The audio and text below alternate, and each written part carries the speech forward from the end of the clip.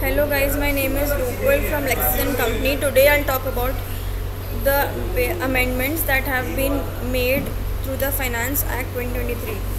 The first amendment is option to pay tax under the composition scheme for registered persons supplying goods through e-commerce operator.